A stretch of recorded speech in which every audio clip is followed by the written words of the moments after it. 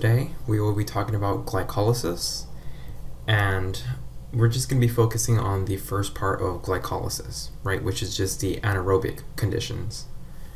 Um, the TCA cycle is a different chapter and that focuses on the uh, aerobic conditions of which we can create ATP. Right now we're just focusing on creating ATP from an anaerobic environment, meaning no, uh, no oxygen around us right? So where does glycolysis, you know, where where does it occur? Well, glycolysis occurs in the cytosol. So we can say that glycolysis, glycolysis occurs in the cytosol. So here's the cell, and within the cell is the cytoplasm or the jelly, right? And we're going to be making pyruvate in the jelly, right? Because glycolysis, all that it's doing is that it's converting glucose into pyruvate. So glycolysis converts converts glucose molecules into pyruvate.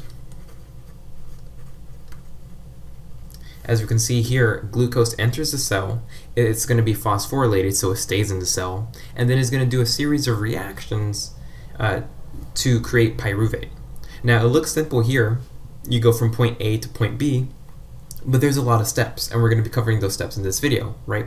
It's like uh, driving from, you know, what state you're in to Washington. Oh, it looks simple, but you're going to have to go through different states, different highways, different streets to get to Washington, right? So it's the same way for glycolysis. What do we use in glycolysis?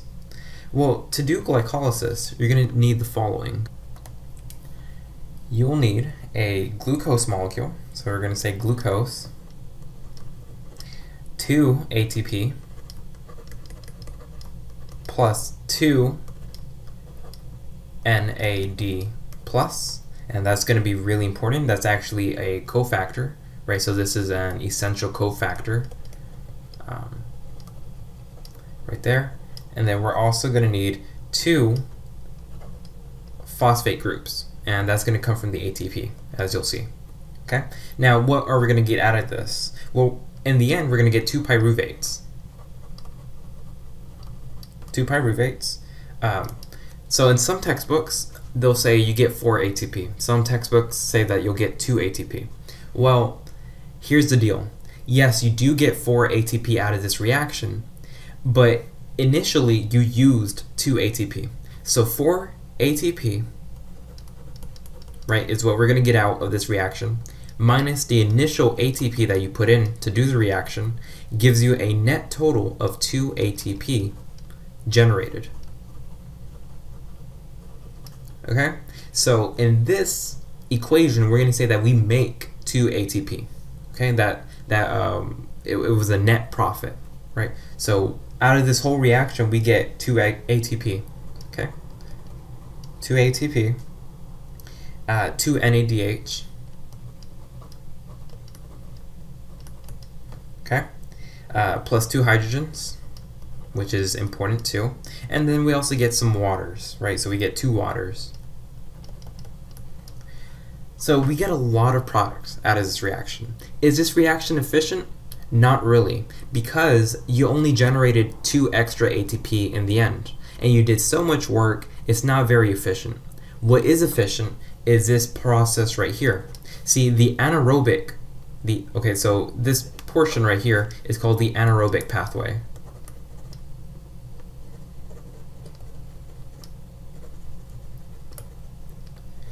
and therefore it means that we can create pyruvate without using oxygen. The downside is that you take a lot of energy to do this and you don't really generate too much ATP. It's not economical. What is economical is the oxidative uh, pathway. So we can say that this is the aerobic pathway.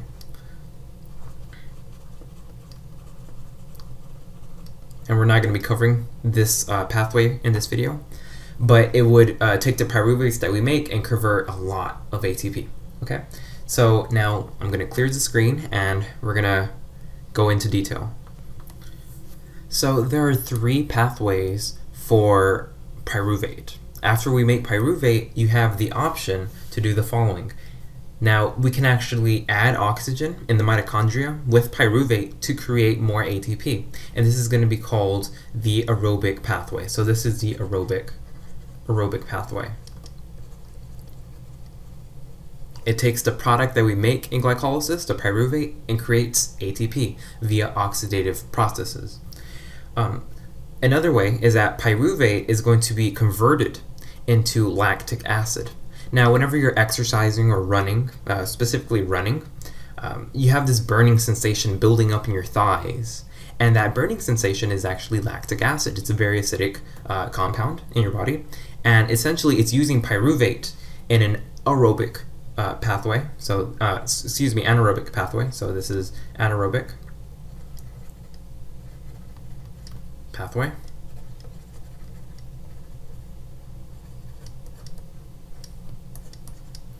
And essentially it's when you're holding your breath and you're running it's don't do that by the way um, essentially you're creating pyruvate into lactic acid for quick and inefficient atp generation. So this is an efficient way of getting atp um, also in yeast uh, we exploit this right? So yeast they live in a solution probably of sugar and some other stuff and they convert the sugars, to glucose, into uh, pyruvate and then pyruvate into ethyl alcohol. Here's a fun fact, actually. So goldfish, the little goldfish you keep in your in your uh, bowl, can actually generate alcohol, and the reason why they don't, you know, drink the alcohol or they're they're not drunk is because the alcohol disperses throughout the water.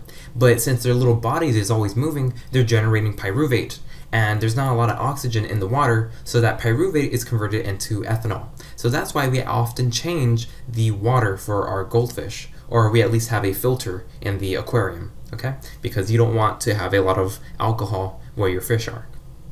Um, so glycolysis is actually uh, it's, it's actually a reversible process, okay? So glycolysis, we can say that glycolysis is a reversible process.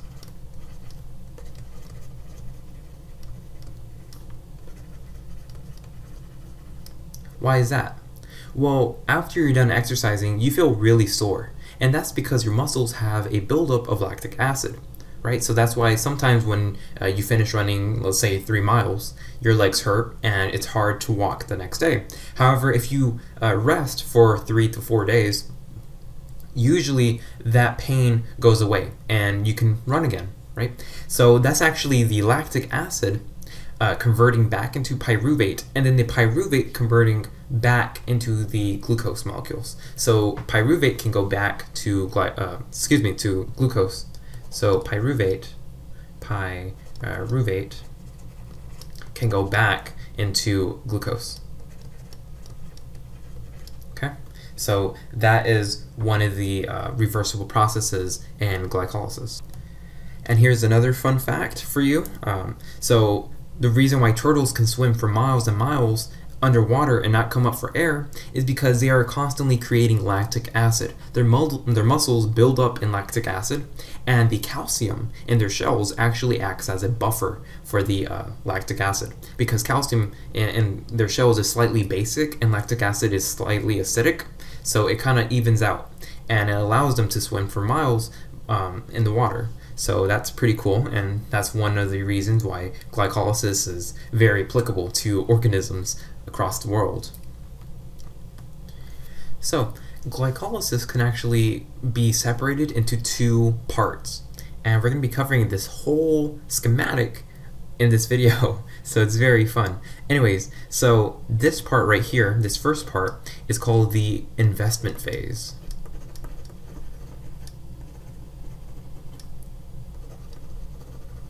And it's called the investment phase because you use 2-ATP to generate glyceraldehyde 3-phosphate. So we can say that uses uses uh, 2-ATP. So we're going to put in some energy to create a molecule. So uses 2-ATP to create create 2 glyceraldehyde.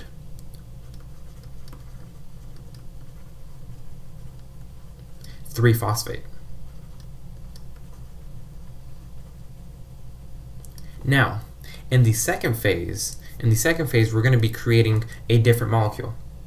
In the second phase, we're going to call this the dividend phase.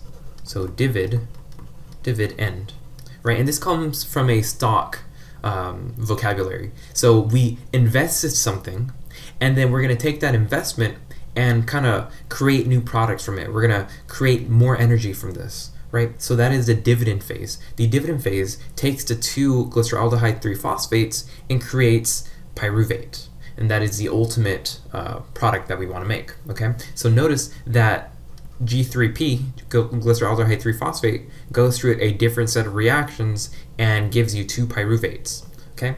So this creates, creates um, two pyruvates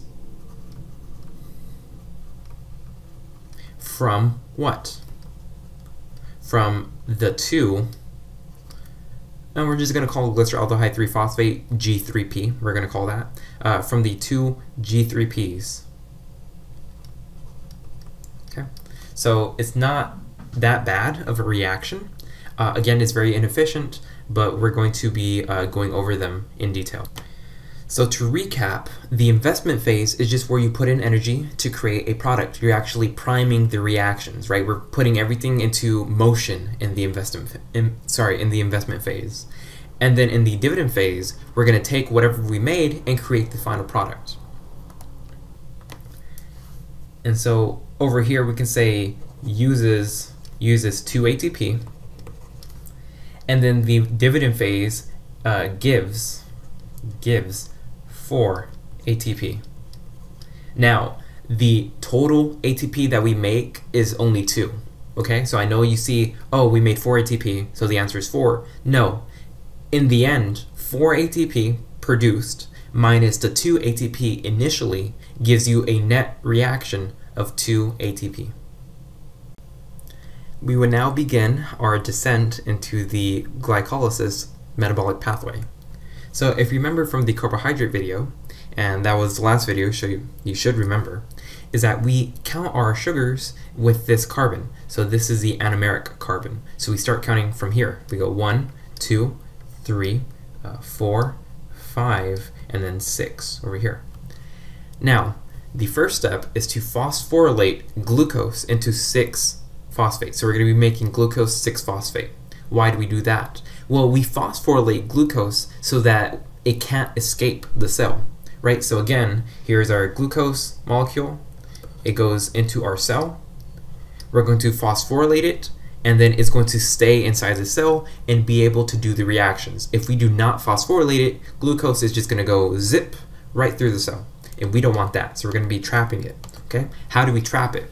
Well, we're going to be using hex kinase. So uh, use use hex, hexokinase, hexokinase. Now, when you're studying, hexo just means six, and glucose is a six carbon sugar, and kinase, well, kinase, it just means that it's an enzyme that phosphorylates. So kinase is an enzyme that uses ATP to uh, get the phosphate group and attach the phosphate group into so we can say that kinase, right, it can uh, use PI. So PI is just a phosphate group, this guy right here. Use PI to attach, attach to uh, molecules. So literally it says attach phosphate group to six uh, carbons. Okay, so that's what we're doing. Now this step right here is actually regulated. So this is a regulated, so this is a regulated, regulates um, pyruvate, or excuse me, uh, glucose, right? So regulates glucose uh, 6-phosphate. However, this is reversible, so a reversible. So for instance, if your body sees oh, we have too much ATP. We don't need to do glycolysis right now. So I'm going to take this product, glucose 6-phosphate, and I'm just going to use it for a different pathway. Or it can say, well, I don't need this product anymore, so I'm just going to convert it back into glucose. Okay, so this step right here, the first step, is not permanent. Okay, not permanent. So this is not permanent. Okay, so to recap, we get our glucose, we're going to be using hexokinase to phosphorylate it. And we phosphorylate it because we don't want it to be leaving the cell. Okay, we want the glucose to stay inside the cell to, you know, do reactions, okay? And of course, literally, we are just adding a phosphate group to the sixth carbon. So adds phosphate group to six carbons. Adds phosphate group to sixth carbon. But to do this, where did the phosphate group come from? Well, if you were very, very clever, and if you saw literally this one right here, you would say, oh, Brian, we got the phosphate group from ATP. You're right. Hexokinase actually snipped with its little microscopic scissors a phosphate group from the ATP. Okay, so literally this is the first investment uh, step. So this is the first first investment step.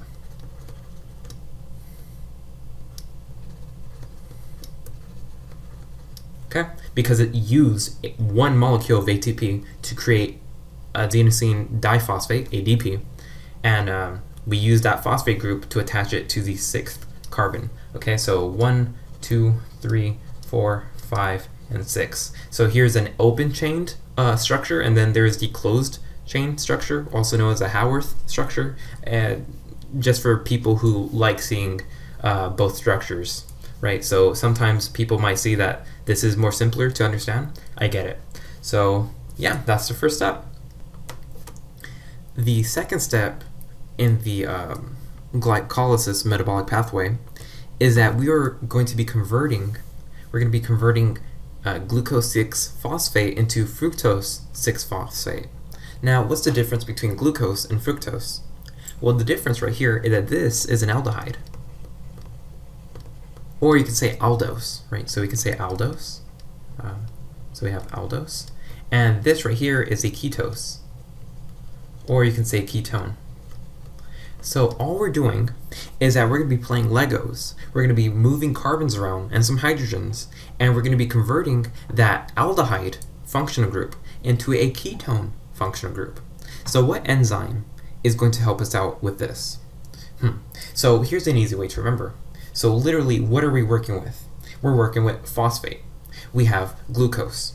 Okay, so what if we use phospho, phospho glucose. Now, what are we trying to do? We're trying to play Legos with some uh, sugars.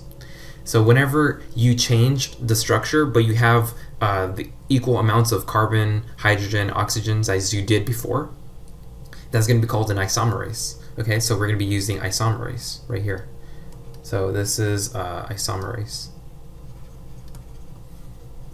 Okay, so an isomerase is just creating a new molecule without removing anything. We just moved carbons around, we just moved hydrogens around, that's it. They have the same molecular formula, right? They have equal amounts of carbons, equal amounts of hydrogens, equal amounts of oxygens. So that is an isomerase. Specifically, we'll be using glucose 6-phosphate isomerase, okay? Uh, it's a type of phosphoglucose isomerase. So that's the family. So that's the family right here. The specific enzyme that we'll be using is called um, glucose. Glucose 6-phosphate. Very literal, right? Isomerase. Now here is the open chained form right here. So we have the aldehyde is going to react with glucose 6-phosphate isomerase and is going to convert into a ketone. So really it's just uh, these three carbons, or excuse me, these two carbons converting into a ketone, and then everything else stays the same. Okay, so this is not a permanent reaction. This can be reversible. Okay, so we can say that this is not regulated. So your body isn't saying, okay, well, how much fructose do I have? How much uh, G6P uh, do we have? No, it's not saying that. It's just going to be doing the reaction, right? So it's not regulated and can be reversed. Can be reversed.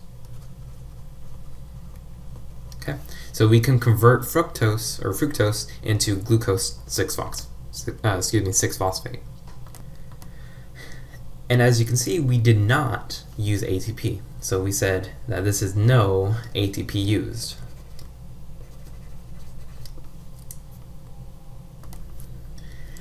Now, for step 3, we will be converting fructose 6-phosphate into fructose 1,6-biphosphate.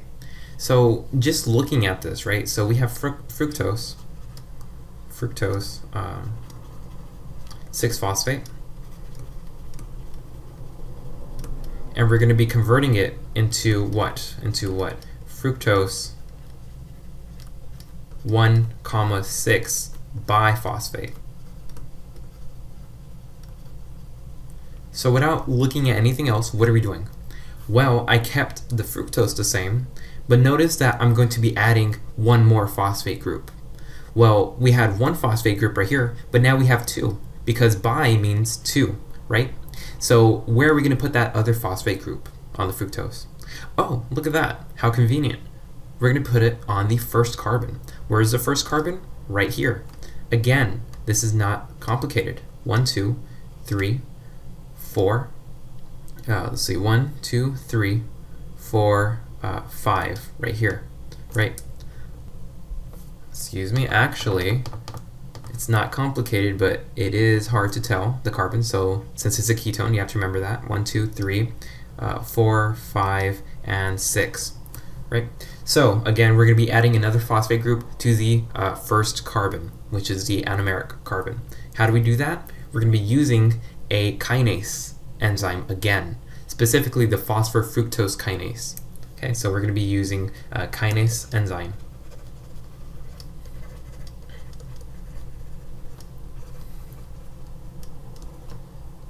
Okay, so it's the same thing as the first step, same as first step, same as uh, first step. Okay, not complicated. Now here's the open chain. Here's our ketose group. Let's go uh, one, two, three, four, five, six. Okay, well, the uh, kinase enzyme is going to take away this oxygen and add a uh, phosphate group on it. Excuse me, it's going to take away the hydrogen and add a phosphate group on it. So look at what happened here. We added another phosphate group on the first carbon. Now, where does that phosphate group come from? That's right, it comes from the ATP molecule. So this is the second. This is the second um, investment step. Okay, so we use another ATP to get that phosphate group. The kinase uh, grabs the phosphate group and puts it on the first carbon on the fructose molecule. And that gives us fructose 1,6 biphosphate. Now, this step is permanent. Okay, why is it permanent?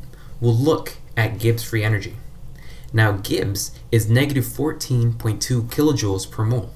Now that's a very, very negative uh, delta G value. Now because the delta G value is so negative, the product wants to form, okay? So because we want to form that product, we're gonna keep it in that way.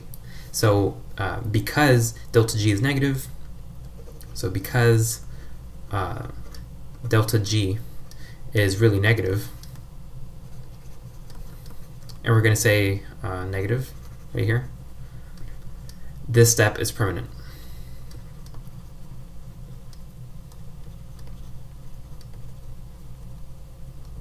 Right. And so uh, does the body regulate this? Yeah, it does. It says, well, I don't want to make too much product if I don't need it, right? So I'm only going to make this if I need to make ATP, if I need to do uh, the, the metabolic pathway. If I don't need to do it, I'm not going to make product because if I do it, I can't change the product back, right? So it's like cooking, um, uh, or I guess it's like um, putting toast in a toaster, right? If you don't want to eat the toast, don't put it in the toaster because once it comes out, you're not going to be able to untoast it. Now, this is step four. In step four, we're going to be trying uh, to convert the D-fructose 1,6-biphosphate into glyceraldehyde 3-phosphate. And uh, if you remember from the beginning of the video, that's what we want to make in the first part. We want to make two uh, glyceraldehyde 3-phosphates. Okay, so how do we do that? Well, we need to cut some bonds. So what enzyme allows us to cut bonds? Well, I know that the family of enzymes that allows us to cut bonds are called lysases. Okay, so that's what they're called, right?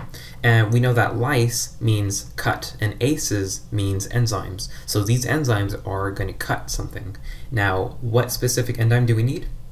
What we're going to need an aldase, um, an aldase, right? So al aldolase right here. Okay, and that uh, enzyme is going to be cutting this uh, bond right here. Why that bond? Well, remember, we want to make glyceraldehyde 3-phosphate. And so I'm going to need to cut this six-membered uh, molecule into three carbons. So we go uh, one, two, and three. So right here is where I'm going to do the cutting. Now, are we using ATP? No. Are we using water? No. So we can say that this is a non-hydrolytic cleavage reaction. This is a non-hydrolytic cleavage reaction. So non-hydrolytic cleavage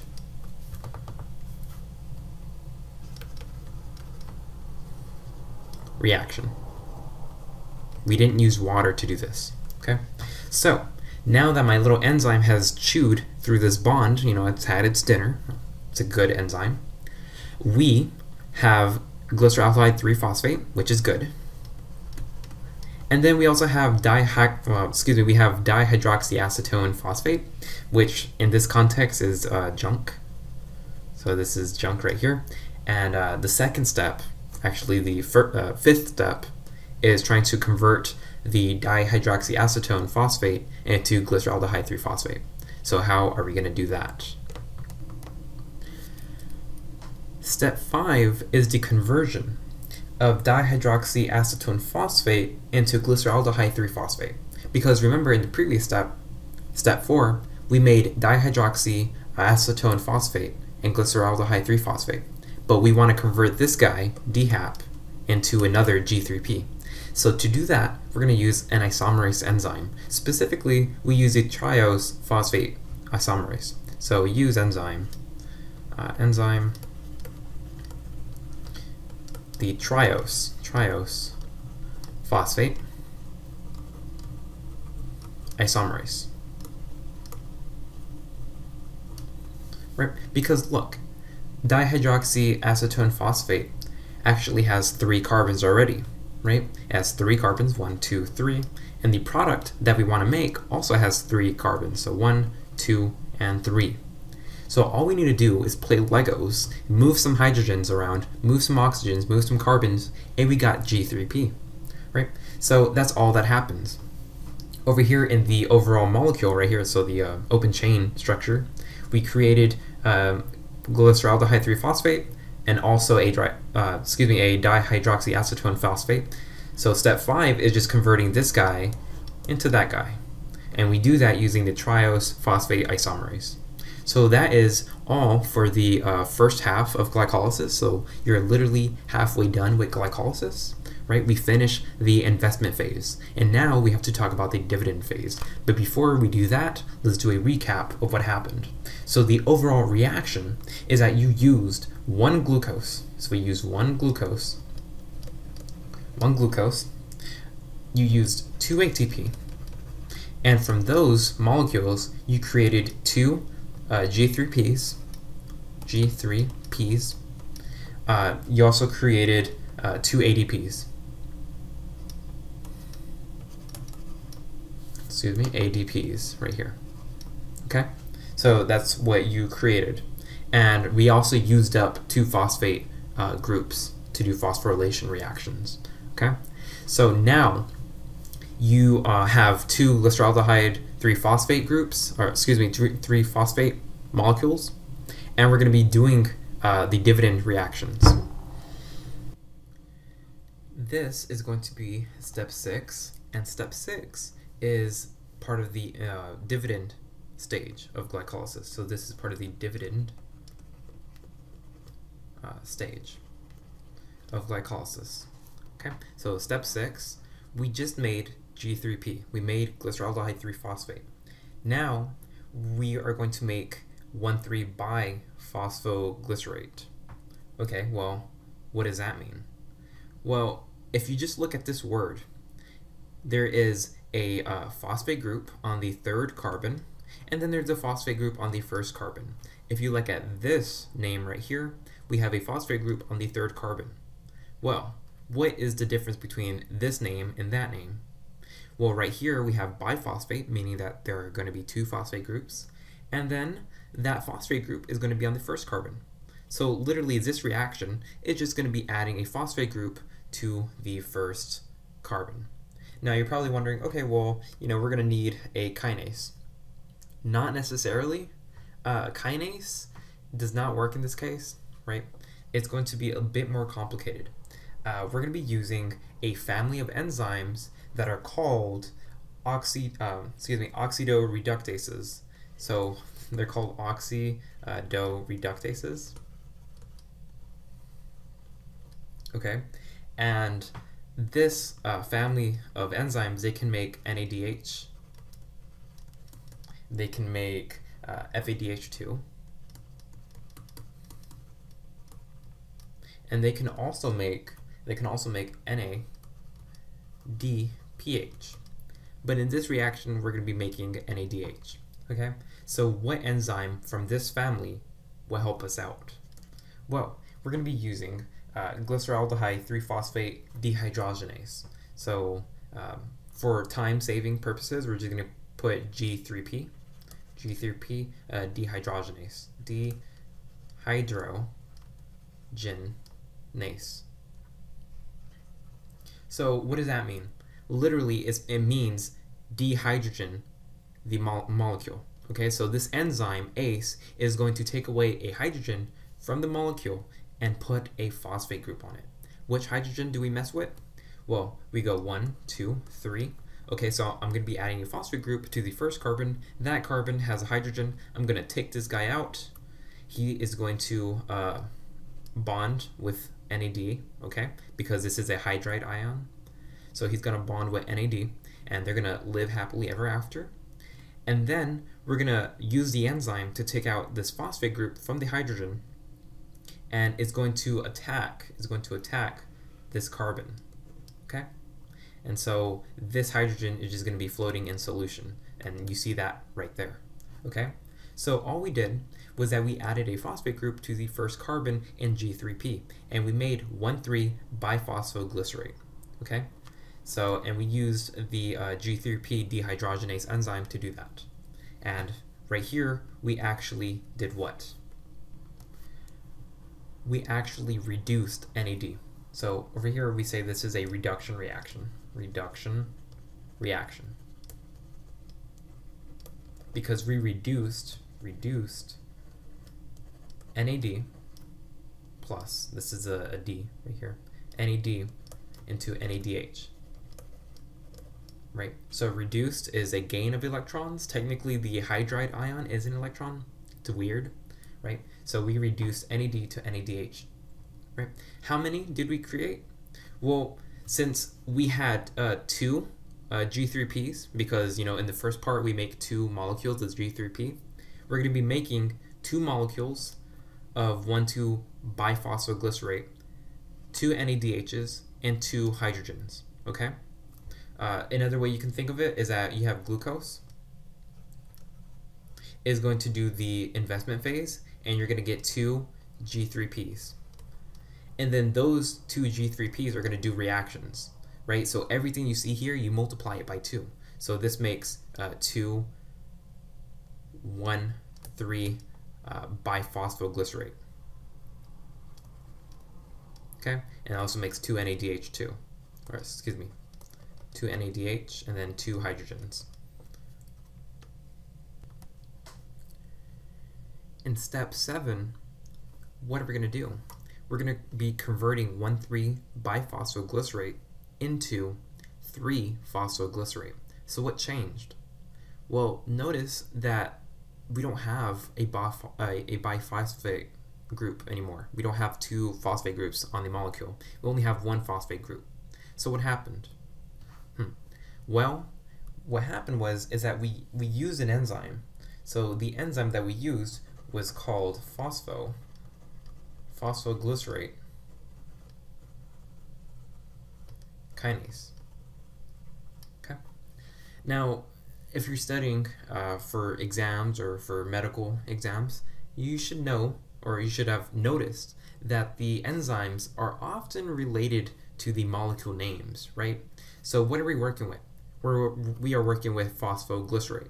Okay, so we're going to be using a kinase that works with phosphoglycerate. So phosphoglycerate kinase. Now kinase, they phosphorylate groups, so they add a phosphate group. But kinases also take phosphate groups away from different molecules, right? So the kinase took away a phosphate group from the ATP. Well, the kinase can also take away the phosphate group from a molecule. Specifically, it's going to take the phosphate group from this guy. Okay? So the enzyme takes away this phosphate group right here, and it's going to make a connection between the phosphate group and the ADP. Now, ADP, when it's connected with a phosphate group, forms ATP. And so, therefore, we actually make ATP. So this is a very exciting step. Okay, so um, that's pretty uh, exciting. Of course, this is called a transferase, transferase uh, reaction because uh, you're actually transferring a phosphate group somewhere. Okay, so there you go. Of course, we have two molecules of 1,3 biphosphoglycerate. Therefore, we need two ADPs, and then we make two 3 phosphoglycerates and we also make two ATPs. So you can tell that we already uh, made enough ATPs to be neutral, right? Because in the beginning, in the investment phase, we invested two ATPs. Here, we already paid off that investment. So the ATPs that we generate in the next steps are going to be uh, profit ATPs. Okay, so that's kind of like the net gain of ATPs. In the eighth step, we use uh, two phosphoglycerates and we're going to convert it into two two phosphoglycerates.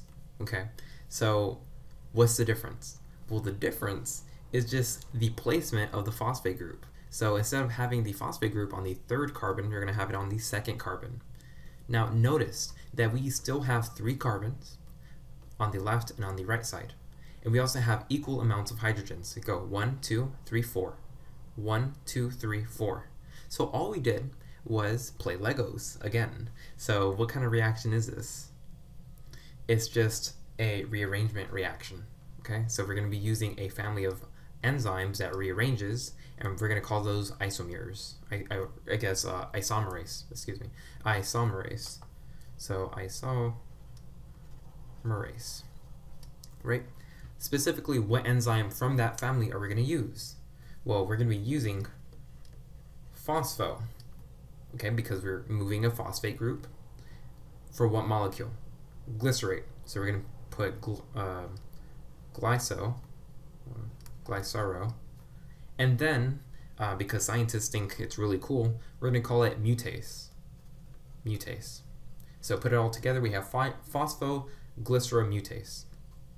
Okay, and mutase just means to change.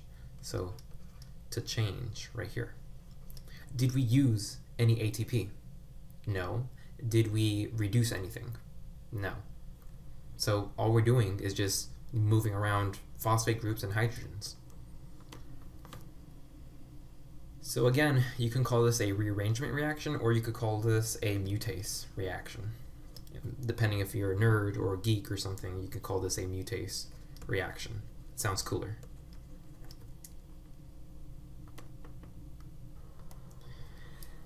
This is step 9. In step 9, we're going to be converting uh, 2-phosphoglycerate into phosphoenol pyruvate. So you should be really excited that we're almost uh, forming pyruvate um, we just need to get rid of the phosphoenol, right? But before we can do that, we have to convert it from the 2-phosphoglycerate. Well, how do we do that? Well, notice that we have a highlighted hydrogen and a highlighted alcohol. Together, they make water. So whenever I do this reaction, I'm going to be uh, dehydrating the molecule. So this is kind of a dehydration reaction right here. So this is a dehydration dehydration reaction.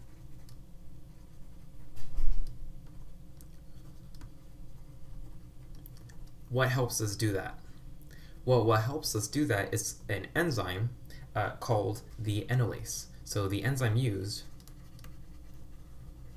is called enolase. And you should know that whenever you're using enolase, you're going to be dehydrating something, right? So it's going to cleave off some hydrogens and an alcohol. Now, is this a hydrolytic cleavage? Do we use water to cut something?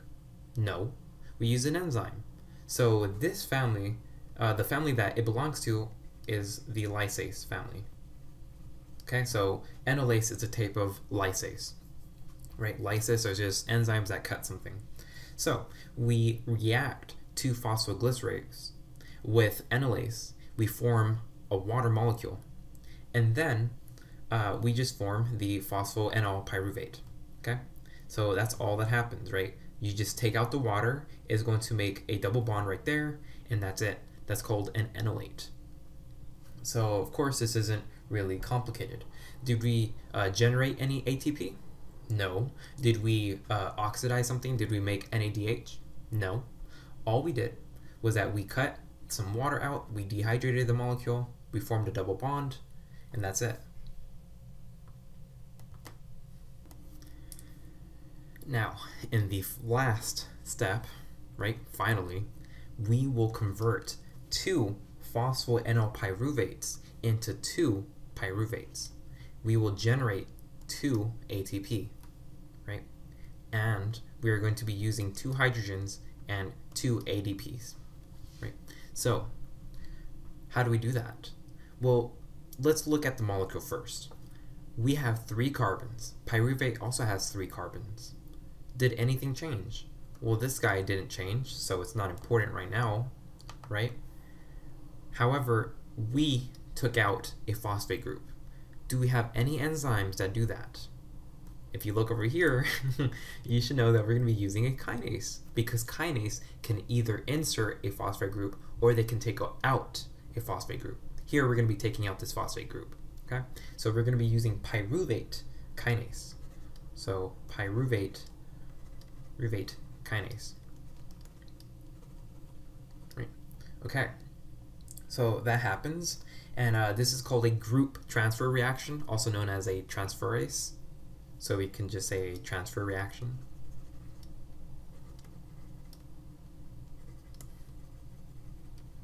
And this uh, enzyme belongs to a family of enzymes called a transferase. Transferases right? Okay, so it removes the phosphate group from the second carbon. So we go one, two, and three, right? Now, since that comes out, is going to bond, actually, it's, uh, it's going to bond with uh, adeno diphosphate, adenosine diphosphate, and then this hydrogen is actually going to come over here and it's going to uh, bond with this carbon, right? Of course, uh, throughout the whole reaction, we have two PEPs, and then we're going to be making two pyruvates, right? So there you go. This step is highly, highly regulated, okay? It's highly regulated because the delta G, the standard uh, free entropy, is very low, okay? So this is regulated step. Regulated step, and it's also permanent. Another word that you can see for per permanent is irreversible. Okay, so this is a irreversible reaction. Now that is step 10, that is the last reaction, right? So you have one glucose, it goes through the investment reactions and then it goes through the uh, dividend reactions just to make two pyruvates, right? So again, uh, glucose, so we're going to put glucose uh, go through the investment phase to make two uh, glyceraldehyde uh, 3 phosphates, right? So G3Ps, and then is going to make two pyruvates, and then two ATP, right? So this is the net profit. Of course, this is very inefficient. You did so much work for so little, but this is under anaerobic conditions.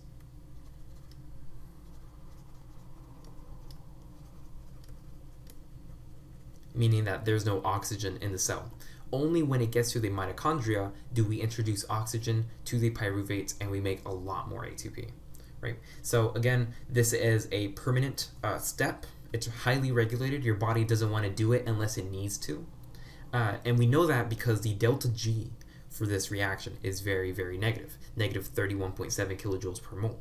Okay, so you can typically uh, tell if a reaction is permanent by looking at the delta G.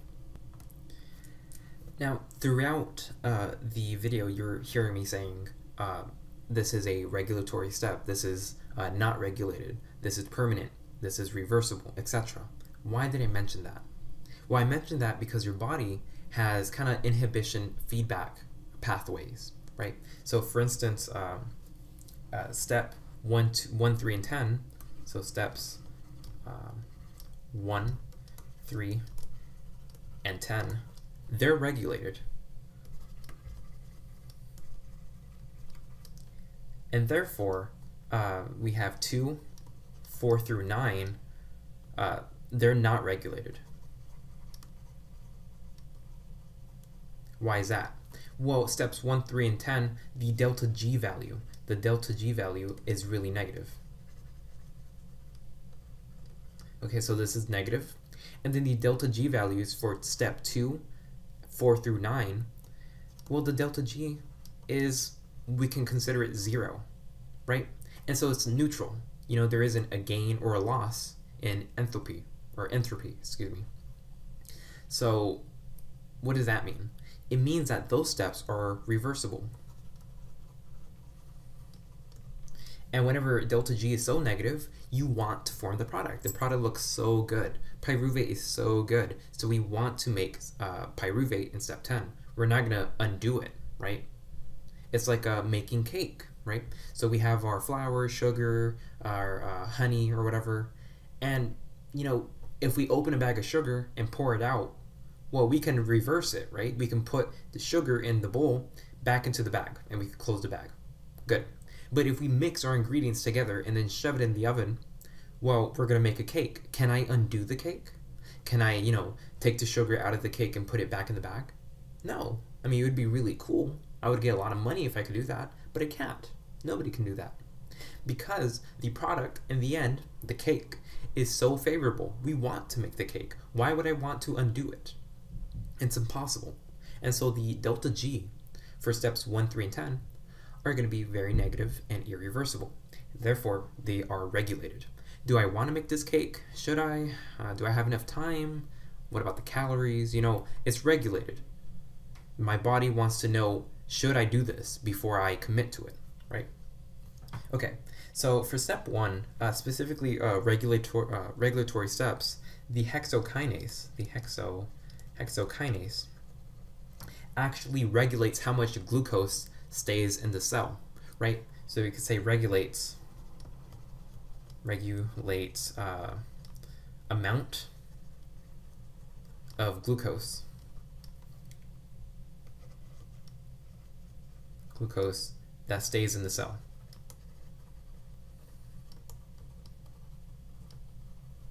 Right, so let's say that we want five glucose molecules in the cell. Well, hexokinase is going to phosphorylate meaning it's going to put a phosphate group onto five glucose molecules. You know, if it sees more glucose, it's going to say, well, you know, I, I just needed five. I don't want to have more. So those glucose molecules are just going to go in the cell and then come out the cell. I'm not going to put a phosphate group on it. So we can say that hexokinase regulates the amount of glucose that stays inside the cell, right? So that's why we regulate it. And um, it also has like a feedback inhibition uh, pathway. So meaning that the product is going to uh, prohibit the hexokinase, right? So hexokinase, let's call that H, it's going to phosphorylate a glucose. So we're just going to put PG for phosphorylated glucose. You know, and then the product, the product is going to say, well, I exist, and therefore I'm going to stop you from making any more products, right? You already have me why would you want to make more product? So we can say that the glucose 6 phosphate blocks more product formation, right? Because if it didn't, hexokinase would just keep doing it and keep doing it and keep doing it, right? So we need a uh, feedback inhibition pathway, right? Ultimately, this regulates how much pyruvate you're going to make, right? We know that one glucose molecule makes two pyruvates. So if hexokinase decides to phosphorylate five glucose molecules, ultimately you're going to have 10 uh, pyruvates, right? So, yeah. Now, step three, we're going to be dealing with phosphofructokinase, uh, right? And um, it's one of the key steps in glycolysis. It's really important. Now the question is, why is phosphate fructokinase, we're going to call that PFK, why is that so important? Well, it's so important and so regulated. This is uh, step three. Because it is the first part of the reaction that is irreversible. So it is irreversible.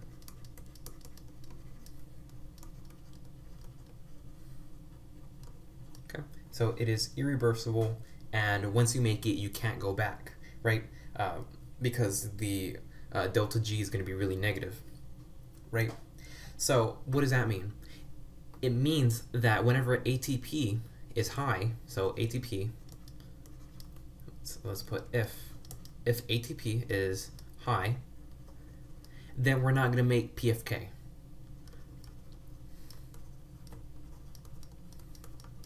I mean, the whole purpose of glycolysis is to make pyruvate, and pyruvate will then enter the mitochondria in the aerobic pathway to make more ATP. So, if there is already a lot of ATP, why should I make PFK? I don't need to make pyruvate anymore. I have enough energy, right? So if I if the energy ATP is high, then we don't need to make uh, we don't need to make phosphate fructokinase, right?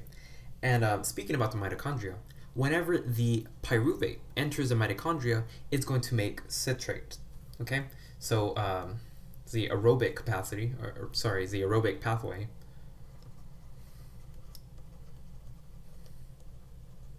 gives citrate. Now, citrate is essentially the uh, physiological form of you know, citric acid, right? So whenever you eat an orange or something that has a lot of vitamin C in it, uh, that goes into your body and it's converted into citrate. Now, citrate is only converted through the aerobic pathway. So if you have a lot of citrate, you're doing a lot of ATP generation. If you're doing a lot of ATP generation, then you have a lot of energy and you don't need to make PFK. So citrate, if high, then uh, no PFK right? So we can tell that we're regulating PFK a lot. I mean, this is one regulate. Um, sorry, this is one regulation, and then this is another regulation, right? So, um, what activates PFK? Well, of course, it's like uh, it's hard to explain, but um, if you have a lot of AMP, so if lots of AMP, so adenosine monophosphate, then uh, low ATP, right? Because ATP is going to keep reacting and reacting and reacting, and then as as it keeps reacting, you're going to be losing phosphate groups, right? So ATP reacts, it makes adenosine diphosphate. When adenosine diphosphate reacts, it's going to make adenosine monophosphate. So eventually, we're going to get to a point where we have a lot of AMP. And that means that we have low amounts, low amounts of ATP. If the ATP is low, then the body senses it and it's going to say, okay, well, I don't have enough energy, so I'm going to make more PFK. And that PFK is going to make pyruvate and is going to gen generate some more ATP. Okay, so we're going to say that low ATP makes uh, PFK.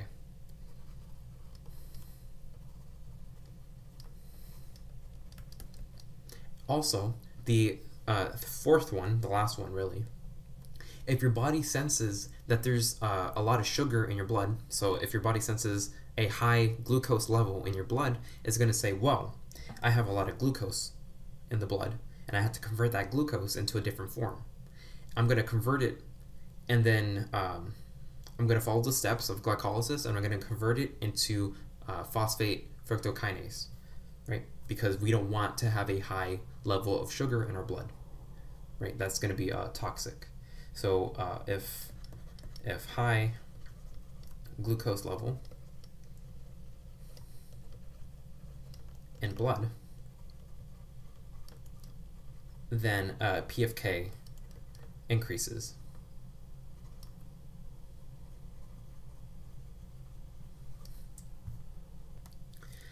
Now, the way body uh, regulates ATP in step 10, so we're going to say step 10, the way the body regulates the formation of pyruvate from uh, is that it's going to, um, well, essentially is going to sense the amount of ATP in the body, right? Everything boils down to ATP.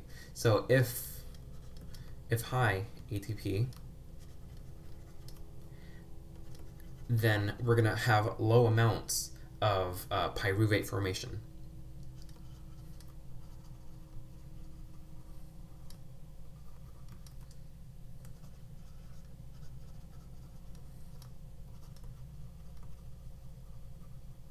Right.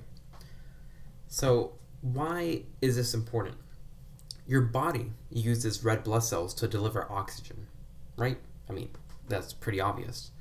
And I like the example of comparing red blood cells to buses, right? So your body is a city, and your red blood cells are buses, and they're going to be transporting people, in this case, oxygen to different parts of the city. The buildings are organs, right? So in order to do this, the red blood cells need constant ATP.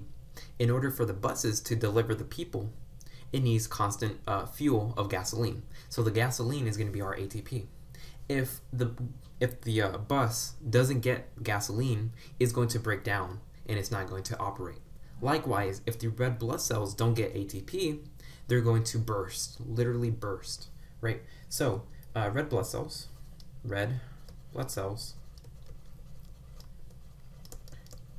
need constant ATP.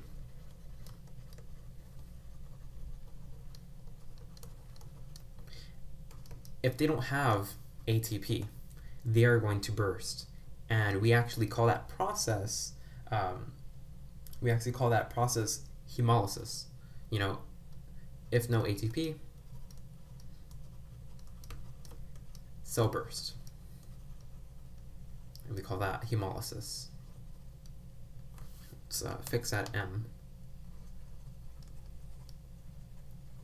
And so what does this depend on? The red blood cells depend on glycolysis. So they depend on glycolysis.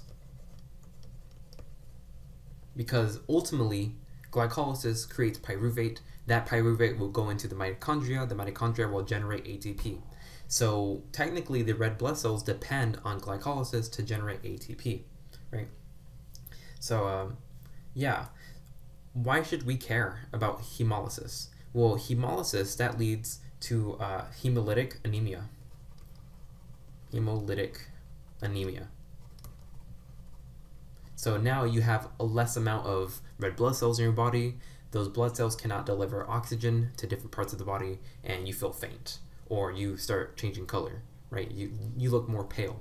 So uh, hemolytic anemia is very, um, very severe case of having hemolysis. You know, it, it takes a lot of transfusions, a lot of treatments, and it never really recovers. So that does affect our daily lives. Okay. So um, yeah. Um, if you want a fun fact, the second most common form of hemolytic anemia is due to the deficiency of pyruvate kinase. So if you're not generating pyruvate, right, if you don't have pyruvate kinase, you're not making pyruvate. And if you're not making pyruvate, you're not making ATP. And so it is actually the deficiency of pyruvate kinase that leads to uh, hemolytic anemia. So on the exam, if you see that, what leads to hemolytic anemia, you can say that it is the deficiency of pyruvate kinase. And so finally, here are all the steps of glycolysis put on one slide, so you can refer back to it, uh, see the different structural changes, right? And then um, I guess you can you know, pretend which enzyme occurs between these guys, right? Um, but the main reason that I brought this up is because I want to explain to you why the body does glycolysis in the first place, aside from ATP production. Why? Why do we convert glucose into pyruvate? I mean, you know, what's the reason? Well, the reason why is because glucose has a higher energy level, right? So this is a high energy level. Let's say, let's make up a number, right? Let's say that thermodynamically, it's going to be positive, I don't know, 100. Let's just say positive 100. Well, as it does the reaction, is going to be lowering the delta G. Okay? So this is unfavorable. We don't want to have just glucose floating around the body because it has a high amount of energy. The universe is lazy. It's going to take reactions at a high energy level and convert them into, you know, uh, negative energy levels, right? So it's going to reduce the amount of energy. So it's going to do reactions after reactions after reactions. Let's say that this one over here is going to have a delta G of about, let's say 2, right? Let's just make up a number. So that is more favorable than this guy, right? Now it's going to do reactions after reactions, and then finally it's going to get to this guy. And this guy right here is going to have a delta G, a delta G of about negative, let's say 32, right? It's around that uh, ballpark, right? So we have delta G, and let's say that it's negative 32 kilojoules per mole. So notice that pyruvate has a lower energy, has a lower uh, Gibbs free energy than glucose.